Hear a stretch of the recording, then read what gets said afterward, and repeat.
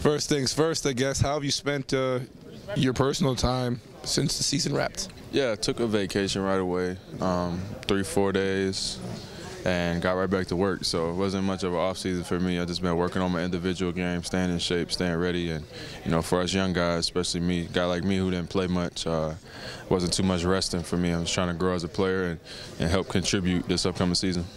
What specifically in your game have you chose to focus on this summer? Uh, never nothing too specific. I feel like you got to be well-rounded. Uh, I'm trying to get better at things that I'm not good at and things that I'm good at, trying to be great at. So it's all around, trying to be an all-around player and uh, just trying to take that next step. And you know, got the rookie season out the way, so there's no more excuses from here on out. Um, it's time to make a, a, a big jump. Now you're one of the leaders of this group. You're to get significant playing time here at Summer League. So what are you trying to showcase or at least show this coaching staff? Just trying to dominate, man. Just trying to dominate and, and prove that you know I stand out out here in a, in, a, in an environment like this. And it's not necessarily about scoring or stats or anything, but um, when I'm out there, I'm trying to prove that I'm the best player on the floor at all times and and the best leader and just control the game. So uh, that's what I'm trying to do going into it, and you know try to win this thing, and, and that'll say enough in itself.